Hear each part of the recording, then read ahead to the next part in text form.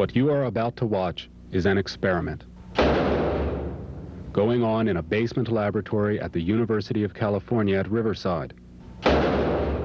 Like most animal experiments, this one continues behind locked doors and is never supposed to be seen. This is the story of Britches. Hopelessly seeking comfort from a laboratory contraption, this baby monkey is the victim of a fatal experiment described by scientists as utterly useless. Britches is blind now, but he wasn't born that way. The night he was born, he was torn away from his natural mother, never to see her again.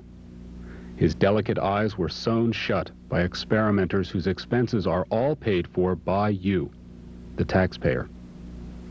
Crudely blinded, a sonar device strapped to his skull, Britches was locked away in a barren steel cage, destined to spend his whole life alone.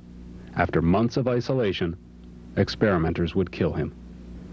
Instead of working with the blind in a harmless environment, experimenters chose to create blindness in animals. The reason? Experimenters were inconvenienced by the normal household routine of blind children. Unlike normal blind babies, Britches was deprived of everything, including his mother's love. Abandoned and miserable, he could never have developed as a normal blind child would.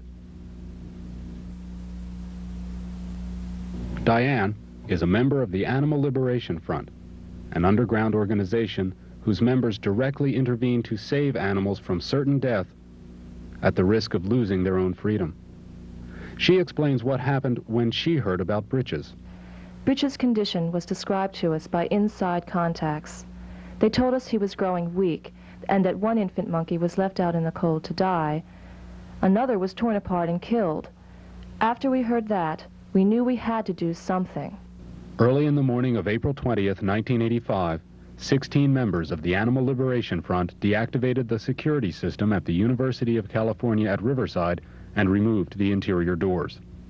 They rescued hundreds of animals, including house cats, rabbits, pigeons, mice, and possums. The Animal Liberation Front rescued cats whose eyes had been sewn shut, rabbits and pigeons who had been starved, they found dozens of live mice sealed inside a refrigerator, and they found wild possums subjected to barbaric eye mutilations before they were old enough to leave the security of their mother's pouch. The Animal Liberation Front also rescued Britches. The place was like a concentration camp, cold and sterile. We found Britches alone in a cage with a sonar device on his head. It gave out a constant screeching sound that had made him neurotic. He clung tightly to our fingers as we lifted him gently to freedom. We wish we didn't have to break into the labs, but something has to be done to save the animals from the pain. There are no laws in this country to protect animals in laboratories, not even laws that require painkillers. We couldn't just sit by while we knew Britches and other animals were being cut up and tormented every single day by people who just don't care. We really had to get them out. Even if we can rescue only a few, at least we've stopped their suffering. Every individual animal needs to be given a chance to enjoy his life. Maybe one day, they will all be free. This veterinary eye specialist an ophthalmologist at the University of California at Davis believes the experiment on Britches was conducted improperly and that experimenters were in flagrant violation of federal law. From the pictures I see, it looks like they used, first of all, too large a suture material. Second, they did a what's called a full thickness suturing, which is inappropriate. That's the wrong way to suture the eyelids closed. Here you can see as the Spanish comes off in the back of the head, it's filthy, and you can see numerous sores on the back of this animal's head. And now you can see that this cotton pad is extremely filthy. This veterinary expert's conclusion, quote, there can be no possible justification for this sloppy, painful experiment. Forcing highly intelligent animals to live under severely deprived conditions causes them to go insane. After five weeks of such extreme deprivation, Britches displayed frequent neurotic behaviors.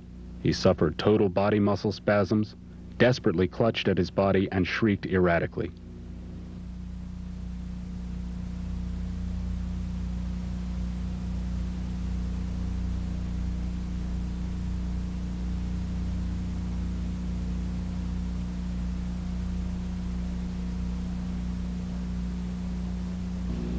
Deprived of his sight, his mother's love and warmth, and all physical contact with others, this infant had been forced to endure a level of psychological suffering we would never inflict on our worst enemies in times of war.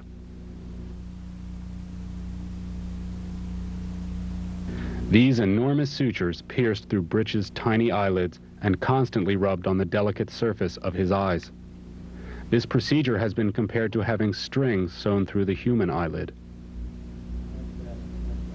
Blind people like Mr. Grant Mack, president of the American Council of the Blind, are voicing their objections to experiments like this one. Become aware of this experiment going on at the uh, University of California at Riverside and have been a little shocked to learn about it. This seems to be uh, one of the most repug repugnant and ill-conceived boondoggles that I've heard about for a long time. Uh, spending $275,000 to artificially blind monkeys and study those animals in a very inhumane way in hopes that they will learn something that will help human beings is, is reaching quite far. I would think that their purposes would be served a good deal better if they would use the same amount of research to find out about blindness from blind people, from blind, blind parents, from blind students, people who can articulate how they really feel and, and how they react and how they feel about others. In the protective care of his rescuers, Britches' sutures were removed by doctors of veterinary medicine. His sight restored, Britches looks up at the world for the very first time. The little monkey was bathed daily and cared for around the clock as he was nursed back to health. He was given love, human companionship, and plenty of time to rest and recuperate in the hope that he could forget the bitter ordeal he had endured at the hand of experimenters. In just a few weeks, Britches had literally been reborn. He had grown healthier, inquisitive, and even playful. He was beginning to look and behave like a normal infant primate. His neurotic episodes had diminished, and the nightmare at Riverside was fading.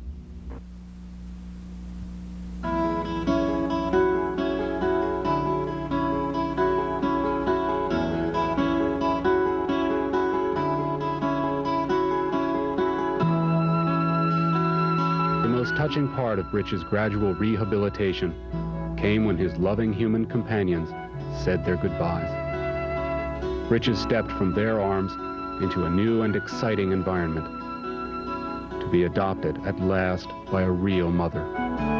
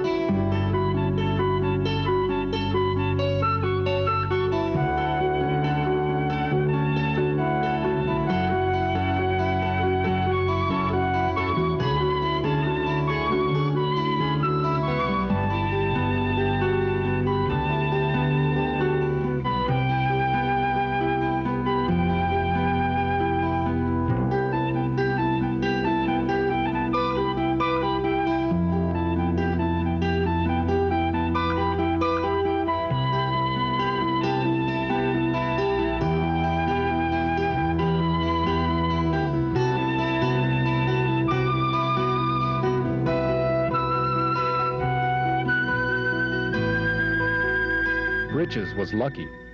For other animals at Riverside, and for the millions of animals all over the United States who are forced to suffer and die in laboratories every day, the nightmare continues. These animals endure extreme deprivation, only to be ground up as research tools by federal grant recipients. In this country, it's a felony to rescue just one animal from a laboratory. Yet nothing experimenters do, no matter how violent, grotesque, or obscene, is against the law. Experimenters can and do cripple, drown, electrocute, blind, blowtorch, and suffocate live animals. If you don't want your taxes spent in this way, there is something you can do. Please, write or call People for the Ethical Treatment of Animals for a free information kit on how you can help stop the suffering. The clock is ticking for animals like Britches. Please, they need your help today. Only public outcry can end their horrors.